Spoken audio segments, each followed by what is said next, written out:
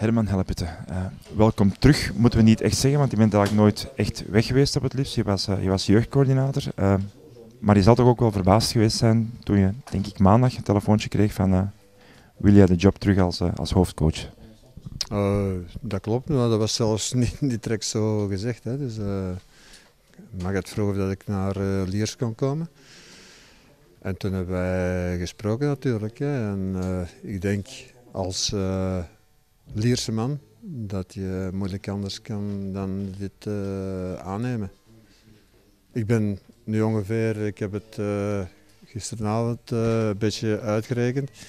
Ik denk dat ik 40 jaar in dienst ben van Lierse, dus dat wil, wil iets zeggen denk ik. Hè. En ik ben in hart en nier een Lierse man. En dat vind ik, heeft in dit geval toch wel meegespeeld. Je zal het zeker niet alleen moeten doen. Uh, Olivier is er ook nog. Uh, je mag twee assistentcoaches, een keeperstrainer, physical coach. Ja, het, zal, jullie gaan met dat nieuwe team uh, de taken moeten proberen te vol, volbrengen. En dat is ja, liefst in de eerste klas houden. Ja, inderdaad. Hè. Dus en, Olivier is vooral iemand die die de academie heel goed kent. Hè. Hij kent de jongens al uh, van dat ze 12 jaar waren, dus uh, hij weet welke kwaliteiten ze hebben. Ik ken die jongens ook wel, maar ik denk dat hij ze nog iets dieper kent en ook uh, wat dat er buiten het voetbal speelt. Ik denk dat Olivier bijvoorbeeld dat ook veel beter weet.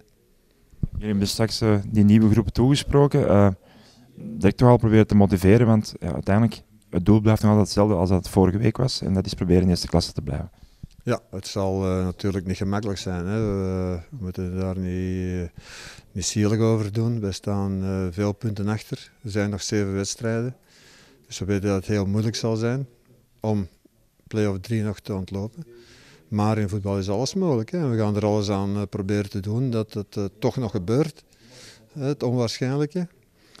En als dat niet lukt, dan, ja, dan moeten we play-off 3 zien te winnen.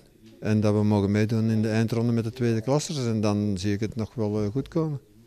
Die groep uh, waar we het straks over hadden, dat is een nieuwe groep. Uh, je hebt een aantal jongens er, uh, laten we zeggen, uitgehaald die dat nu nog wat apart gaan trainen. Ehm, ja, hoe, hoe, is dat juist tot stand gekomen? Ja, ik denk dat, dat er op dit moment met een heel grote groep werd gewerkt. Veel te groot. Hè? Als je, zeker als je in moeilijkheden zit, dan hoe groter de groep, hoe meer uh, problemen er zijn, hoe meer uh, misnoegden. Want dan zijn er in plaats van uh, bij wijze van spreken 14 die mogen meedoen, zijn er 24. En dan is dat overwicht eigenlijk veel te groot. Dus dat is een van de redenen waarom dat de groep kleiner is gemaakt. Hè. Een andere reden is natuurlijk dat er keuzes moesten gemaakt worden. Waarom juist die? En dat zijn om ja, allerlei redenen kan zijn. Het kunnen technische redenen zijn. Dus uh, uh, jongens die eventueel de groep nog uh, kunnen en willen verlaten. Dat zijn een aantal van die mogelijkheden waardoor dat, zij het slachtoffer zijn geworden. Door de gebeurtenissen van de voorbije dagen komt er wat kritiek op jullie, zowel van buitenaf als door supporters. maakt dat extra moeilijk, die taak? Of zeg je, nee, ik ben er gewoon volledig klaar voor om deze uitdagingen aan te gaan? Taak is onnoemelijk moeilijk. Hè? Uh, dus zelfs, zelfs als het uh, van buitenuit niet moest zijn, dan zou het nog moeilijk zijn. Hè? Als je onderin staat met zes punten achterstand op de voorlaatste en acht, dacht ik, op de derde laatste, dan is het sowieso heel moeilijk.